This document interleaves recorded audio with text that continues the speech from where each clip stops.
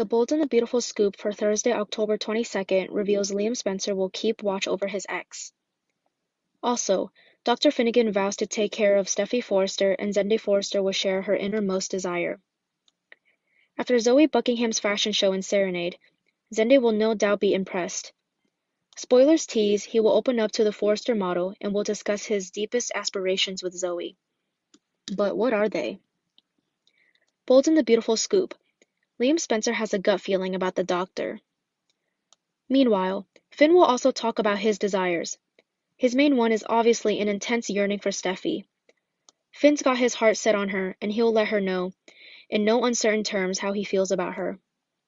He will also promise to put her first, which should be a refreshing change for Steffy. Apparently, Finn's not only the hard one who's falling hard and fast. Steffy has told her new paramour she's looking forward to moving on with her life, and she wants him to be a part of it. Finn, I love you, Steffy told him on Tuesday. I love you too, he replied. None of this is going to sit well with Liam, who was still suspicious of Finn. Something in his gut is telling him not to trust the doctor's intentions. Despite telling Hope Spencer he was going to let Steffy go, he's going to find it tough to do that.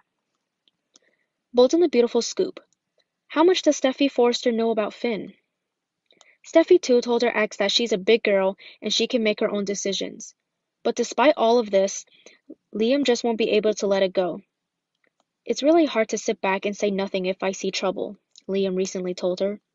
Trouble? With Finn? She responded, rolling her eyes.